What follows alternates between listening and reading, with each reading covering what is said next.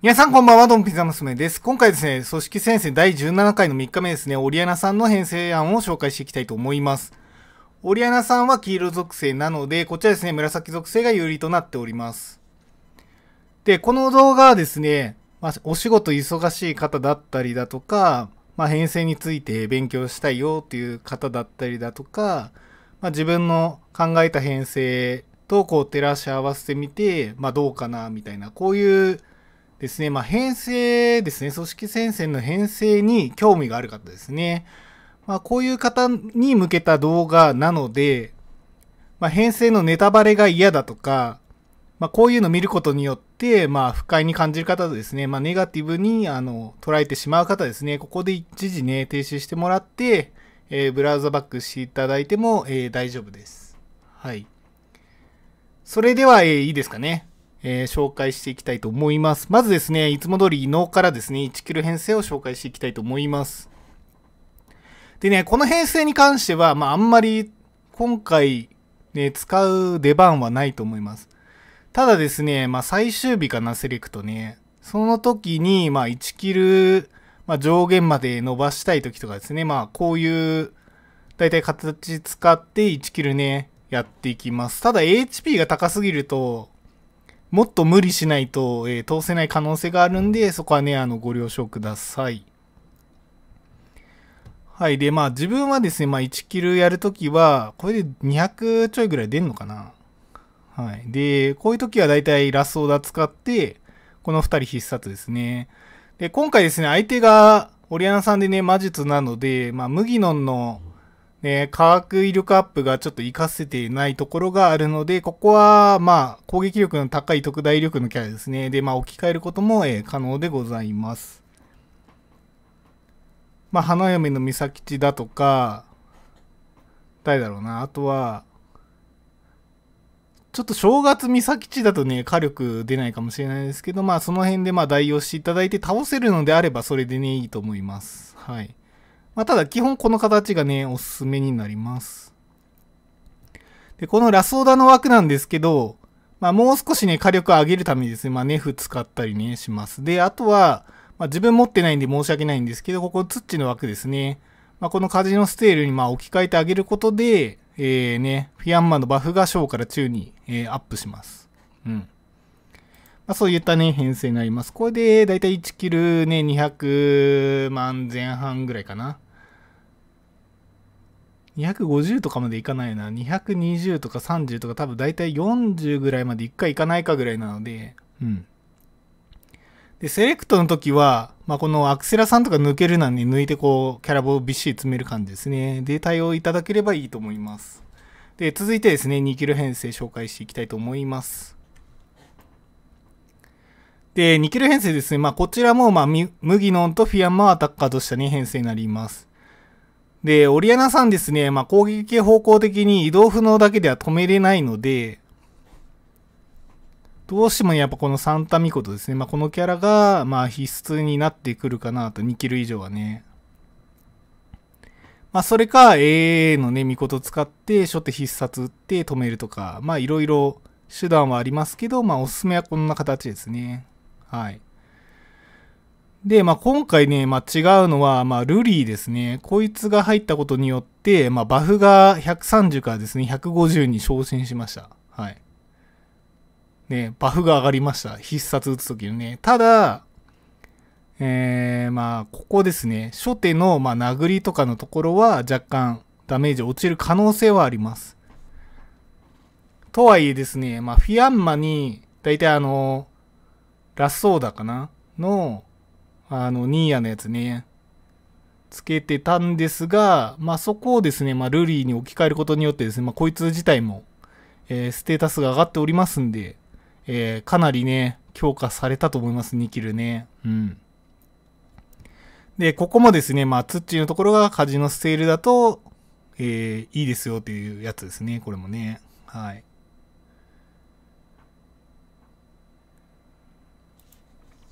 あ、本当にね、あの、ね、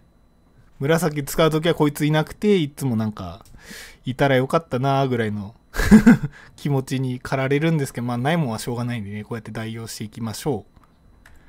えー、続いてですね、まあちょっとキャラボを意識した、まあ2キロ編成ですね。そんなに、なんだろうな、余力が余りまくってるんであれば2キルでね、ならこういう編成にして、まあね、フリー枠2個作って、ここにキャラボ詰めようっていう作戦ですね。うん。ただ今回紫そんなキャラボいたっけ？ちょっと 覚えてないんですけども、まあ今後ですね、まあこういう、まあそういう場面が出くわしたと場面に出くわした時ですね、まあこういう編成もあるよっていうのだけ、まあ紹介しておきます。で、これは最初ね、全員スキルって、えー、2ターン目ですね、アクセラとサンタミコと変えて、まあ、必殺ですね、打ち打っていきます。うん。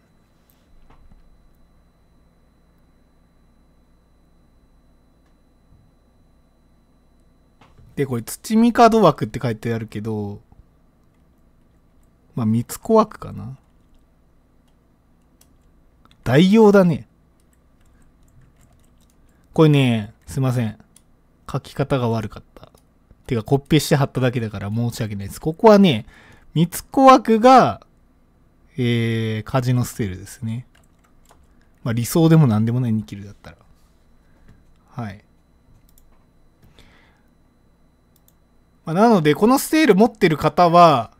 逆に言えばですね、あの、三軍とかに、まあ、この三つ子が使えたりしますね。うん。まあ、どっち持っていってもいいですけど。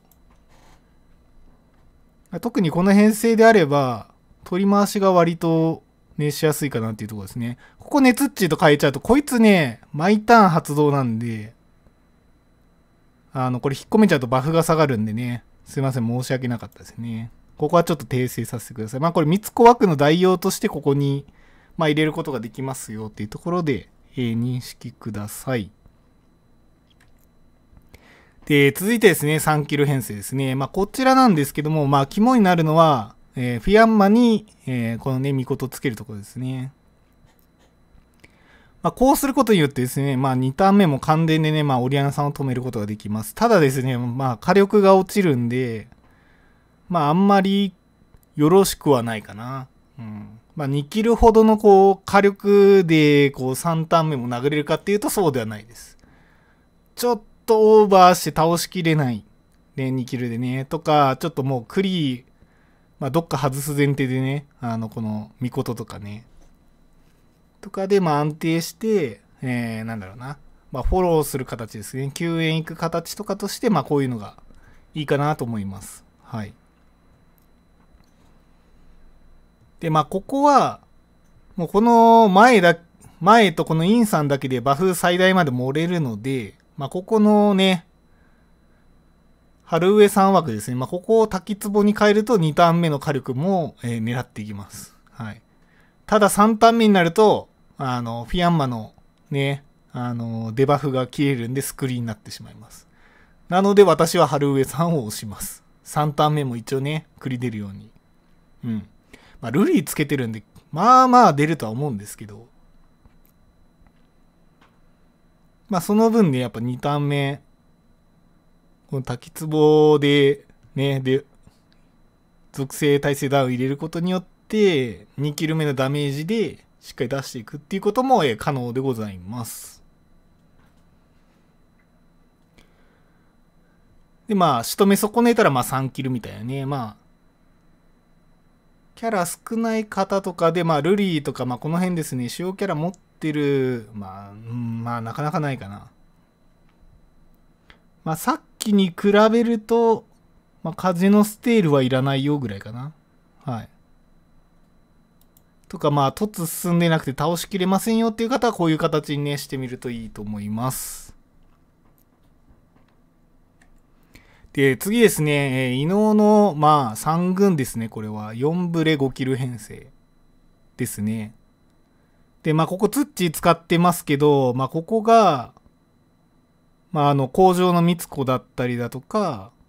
あとは、なんだろう。カジノステールか。まあ、余ったキャラをここにはめるような形にね、していただければと思います。で、まあ、これは、まあ、一応立ち回りですね。麦の必殺って2連携して、で、これ2ターン目スキルなら、まあ、2に必殺って書いてあるんですけども、まあ、オリアナさん最初ね、殴ってこないらしいんで、まあ、そこは、これはね、あんま気にしなくて大丈夫ですね。で、2ターン目に3つコスキル打って3連携ですね。ここガード張ります。で、4ターン目に、まあ、麦野と万内さんですね。ここ交代して、万内さん真ん中で、えー、左から巫女と右から三つ子ね、必殺打っていきます。で、ここの、まあ、アタッカー2人ですね。まあ、ここの2人に関しては、この辺でね、代用が効きますんで、まあ、その回ですね、まあ、ここの4ターン目に、まあ、三つ子枠のところで、まあ、必殺が打てなくなるっていうのと、まあ、バフがちょっと減りますよっていうところは、ちょっとご了承ください。まあ、これもね、結局、ネイチン頼りの編成なので、結構厳しいですね。栗発生系の紫アシストっていうとやっぱ春上さんとかになるんで、どこに回すかですね。うん。ちょっとね、余ったところ、余ったキャラしか突っ込めないので、1軍とか2軍どの辺殴るか、だいたい決めて、ここ行けばいいかな。まあ、60前半であれば別に多分倒しきれると思うんですね、ここがなん、なんでも。うん。まあ、早めにこいつら使っとけばいいと思います。思います。で、しっかりバフ漏れてね、厳選とかですね、まあ、裏で溶かす感じですね。成功したらくださいみたいな形で消化するのもありだと思います。で、また紫はね、こういう止めキャラがいっぱいいるので、まあ、こういう風にバフ盛らず、耐久して倒していくっていう方法もあるんで、もう3軍どうしても、あの、ライン超えて、こういう4、ね、5キルとかだとね、これ4ブレ5キルって書いてあるけど、3ブレ、すいません、これ3ブレ4キルですね。さっきからなんかミス多いな。まあ、最悪5までいけるんですけど、ね。まあ、粘る編成ね、麦野の必殺とかも必殺のチャージターン3ターンとかなんでね。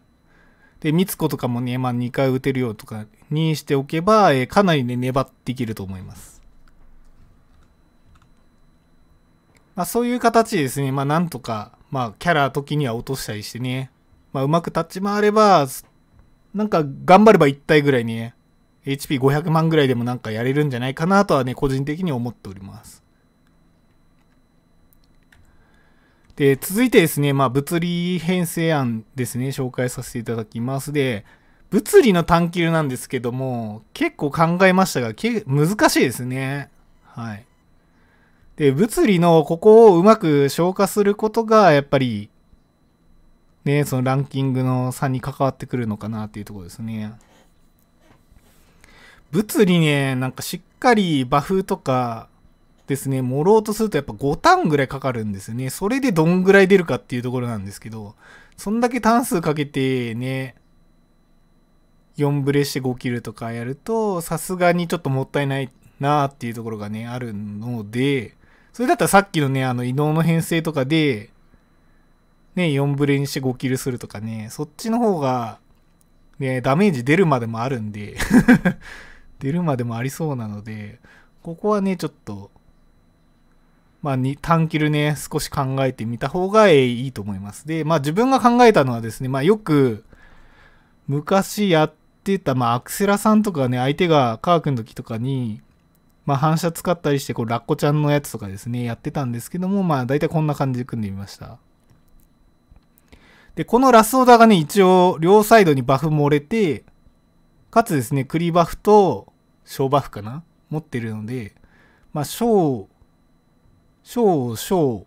中、大みたいな感じですね。なので、40、30、50で、120ですかね。最初に、最初から120のバフ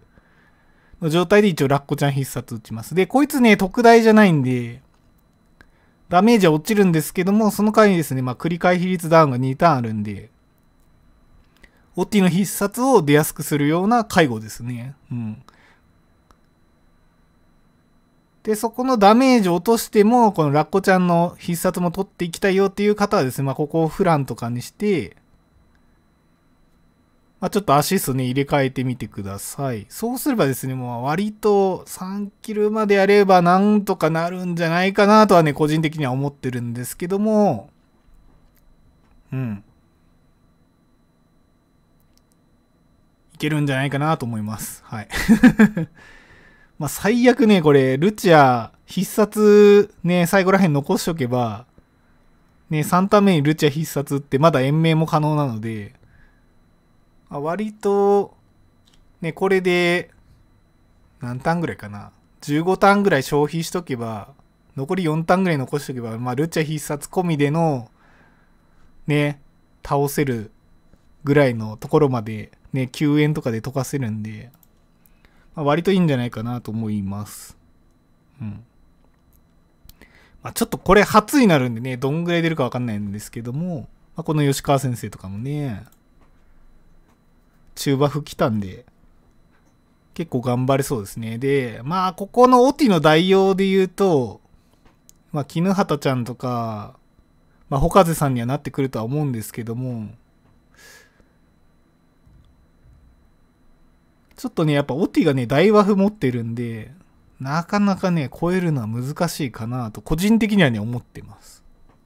うん。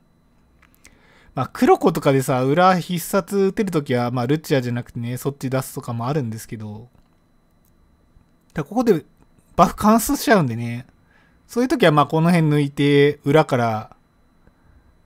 ね、吉川、黒子パターン、ああ、もったいねえな。うん、あんまこれでは黒子使わないかな。はい。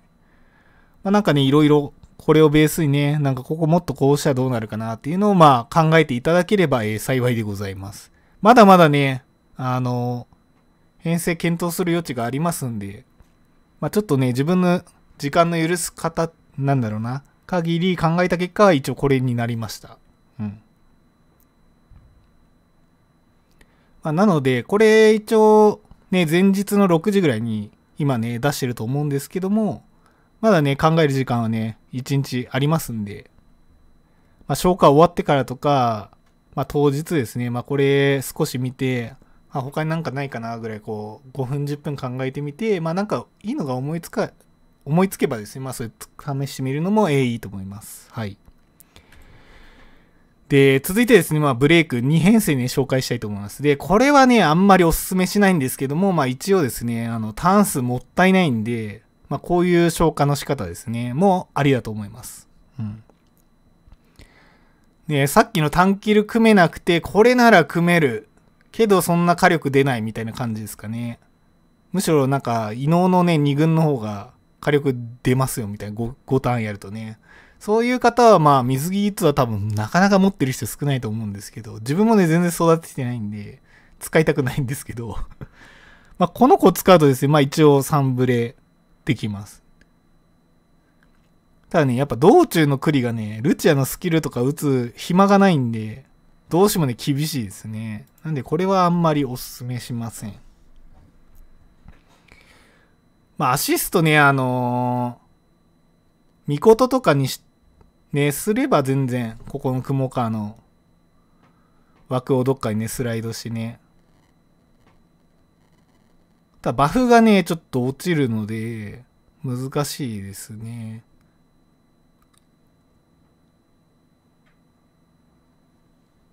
雲川入んないのかな？うん。まあ、ここも、あ、もっとこうすればいいじゃないみたいな、そういうのがね、あれば、まあ、そっちにね、アシストがね、ちょっとこれまだ検討不足なんで、また変える余地はあると思います。はい。で、続いてですね、まあ、5キルですね。まあ、さっきのよりはね、まあ、こっちの方が安定するかなっていうところですかね。で、ここまあ、対馬さん使ってますが、全然あの、ニーヤのアクセラさんとかでね、大丈夫です。これただね、黒子の栗をちょっとでも出したいなっていうので、これつけてます。洗剤の方ね、うん。で、これは、まあ、サテンさん必殺って、2ターン目サテンさんスキルって2連携して、で、3ターン目ですね、ここ交代します。で、その3ターン目に交代することによって、この中バフがね、ブレイク殴るときに残りますね。で、ルーチャ必殺って、オティスキル打って、黒子殴りですね。で、ここでオティスキル打つのは、まあ一応理由があって、まあ、ルチアもね、必殺打つので、クリバフで乗せたいんですよね。で、あとは、その、ど、この3か4では打たないといけない。なら早い方がいいじゃないかっていうので、先に打ってますね、ここで。で、4ターン目にルチアスキル打って、一応必殺打つ前にですね、デバフと、まあ、繰り回避率ね、下げて、ここの連携でも一応その繰り出やすくします。ね、ここで伸ばしていきたい。で、5ターン目に黒子と、オティ必殺打って、まあ、ルッチア殴ると。言ったところになります。はい。で、まあ、これがね、まあ一番、これがベターな形だと思うんですけど、まあ右ですね、必殺4発打てるときっていうね、これね、かなりクリきついんですけども、まあ3ターン目にね、あの、黒子必殺打つことですね、まあ、ルチアの必殺の火力を上げて、それ以降のバフですね、それも強化していきます。はい。で、ここで気をつけないといけないのは、こことここね、逆転するとね、あの、バフ、雲川のバフが乗れるので、順番はこのまんまにしてくださいね。で、まあ、4発撃つ気がない人は、ここ全然あの、対馬さんかあの、ニーヤのアクセラとかかな？にして、サテンさんは、スキルじゃなくて殴るとか、まあそういう形でいいと思います。はい。まあこういう形で、まあなんとか5キルですかね。で、まあ6ターン目も一応殴れるんで、これで頑張ってみるといいかなと思います。はい。まあ、あとはまたね、こう、ルチアとサテンさんうまく回して、まあ、耐久して倒すようなね、そういう形もあると思いますんで、まあ、これをベースにですね、まあ、いろいろいじってみて、まあ、バフを落としていって、ターン数ですね、伸ばしていくみたいな形ですね。まあ、そういった形で、まあ、他になんかできないかなっていうのを検討してみるといいと思います。で、今回のね、えー、編成案の紹介はこれで以上になります。で、次回ですね、まあ、ダブルボスですね、一応検討してたんですけども、まあ、ちょっとですね、あの、他のゲームでですね、まあ、今3つの組織イベント同時進行というのと、ちょっと自分のね、やりたいことが多すぎて、全然時間取れなかったんですね。そこはね、大変申し訳ございません。そしてですね、まあ、こういう動画ですね、まあ一応前回ですね、まあ、黄色属性のやつは出しました。で、今回、紫、赤、緑かな？出させていただいたんで、まあ当分ね、この色に関してはこういう動画はね、まあ環境が変わるまでは、えー、出さないですね。まあその代わりといったなんですが、まあいつも出してたね、まあ動画ですね。まあそういうところで、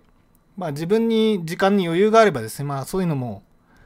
まあ、レードが終わっあ、レードじゃないな、組織戦線ですね、まあ、当日の後ですね、に出していきたいと思いますんで、まあ、そちらもね、気になる方は、えー、ね、見ていただけると嬉しいです。なので、まあ、こういう形のね、資料形式の、えー、説明というのは、あとやってないのがね、青編成だけになるんですね。なので、まあ、18回で青編成が、もしあればですね、青編成だけですね。まあ、一個ね、紹介したいかなと思います。はい。まあ、それ以降は大きくね、環境が変わらない限りは、まあ、これを一応、まあ、ね、参考にしていただいて、まあ、アレンジしていただければいいのかなと思います。まあ、これをね、出してる目的っていうのも、これからね、フェスが始まって、で、2月にも、まあ、コラボがあって、まあ、組織戦線ってどういうものなのかっていうのが、やっぱりね、あの、ね、わからない方とかもいらっしゃると思いますんで、そういう意味合いでですね、まあ、あとは、これからね、フェスも始まるし、もっと、とある頑張りたいなっていうね、最近始められた方とかですね、そういう方に、まあ、参考になるようなものですね、まあ、そういうのを残したいというところで、まあ、こういう動画を作らせていただいております。まあ、本来はね、ダブルボスもね、出したかったですけど、ちょっとね、すいません。その時間が取れなかったんで大変申し訳ございません。で、最後ですね。まあ、これも毎回の紹介になって大変ね、あの、またかよっていうね 思われるかもしれませんが、まあ、一応ね、まあ動画を見る機会っていうのはね、結構人によってね、バラバラなので、まあ、どの動画から入るかっていうのはね、その正直自分にもわからないんで、まあ一応ね、全部のこういうね、編成紹介した動画では、えー、ね、何回もですけど 組織先生のね、基本的なところっていうのは、ね、紹介させてください。はい。でね、この動画ね、初めて見る方だけですね、まあ、こちら見ていただければいいと思うんですけども、まずですね、まあ、私は、えー、組織先生のね、初級編と、まあ、中級編っていうのね、まあ、動画2つ出しております。で、第1回の方では、初級編ですね。こちらでは基本的なルールだったり、えー、編成の組み方の考え方みたいなところですね。そういうところを紹介させていただいております。まあ、こちらに関してはね、まあ、とある結構やってこられた方には、今更かやろうとは思われるかもしれないんですけども、やっぱりですね、あの、ゲーム内のお知らせとかだと、どうしてもね、あの、スクロールしながら前の情報とかね、いろいろ戻ったりするのも大変なので、まあ、ぜひこういうのね、活用していただければと思います。で、まあ、組織先生にね、ちょっとやり方、なんとなく分かってきたなと思ったら、まあ、大体ね、最後、セレクトバトルとかね、最終日あるんで、まあ、そこでの、まあ、立ち回り方というかね、そういうとこだったり、あとは、ね、まあ、救援の方法とかですね。うん、まあ、厳選やらないに越したことはないんですけども、その、もうちょっと頑張りたいというところですね。まあ、ランキングもっと上位狙いたいっていう方は、えー、この中級編とかね、見てみると、あそういうことができるんだなとか、あそういうふうに考えれば、ね、こう、なんだろうな、進行とか、ね、こうした方がいいなっていうところの、まあ、参考情報みたいなところですね。で、この先にね、まだ多分あるんですよね、この、中級より上ね。ここに関しては、まあ、なんとなく自分の中でイメージはあるんですけども、そんなきっちりかっちりガチでやったことはないので、はい、自分で考えてね、信号とかね。なので、ちょっとここから先はね、あの、ね、あの、本当に、ね、1位取った方とかにね、作っていただきたいんですけども、まあ、自分のレベルだと、まあ、この中級編止まりですね。はい。まあ、いろいろ、あの、やり方等々ですね、まあ、いろいろ知識はあるんですけども、まあ、それをね、全体に発信していって、こうやるぜ、みたいなのは、そういうキャラじゃないので、私ね。頭の中にありますけど、そういうのは、ね、強要するもんでもないし、みんなで全員で、ね、1位目指そうぜって言ってて、自分も目指したい気持ちがあればですね、まあそういうのも、ね、多分こういうので作れるんですけど、そこまでのね、あの、ね、元気はね、もうないので はい。そこはね、大変申し訳ございません。そういうところで言うとね、まあ10位以内の組織とか、まあ、ベスト4ぐらいかな、頂上決戦のね。まあそういうところに行けば、まあ本当にね、1位狙いたい方とかですね、まあそういうところで、まあ、どういうふうにね、頂上決戦戦ってきたとか、まあ通常戦線とかですね、まあそういうところの知識学べる環境あると思いますんで、そういうところでね、まああの、修行してみるのも、えー、いいと思います。まあ、とはいえですね、まあ、何にせよ、あの、無理は良くないので、自分の遊べる範囲内で、あの、ね、楽しんでいただければ、えー、幸いでございます。というところで、今回のね、動画は以上にしたいと思います。またですね、えー、次の動画だったり、えー、私ですね、まあ、たまにライブ配信、まあ、本当に、ね、急に始めるんで、あの、なんだろうな、通知とかね、オンにしていただけると、まあ、気づきやすいんですけども、本当にね、あの、土日とか平日休みですね、まあ、大体金土日のどっかで急に始めるんでまあそういうのに出くわした時ですね、またね、一緒にお話ですね、まあこういう動画の内容以外のこととかでも何でもいいんで、そういうとこでざっくばらんになんか聞いていただいたりとか、まあ普段どういうことしてるかとか、まあそういうのね、教えていただければ、えー、自分もね、楽しいです。はい。そんなとこかな。はい。それではまあ、また次の動画だったり、まあそういうね、ライブ配信でお会いしましょう。ご視聴いただきありがとうございました。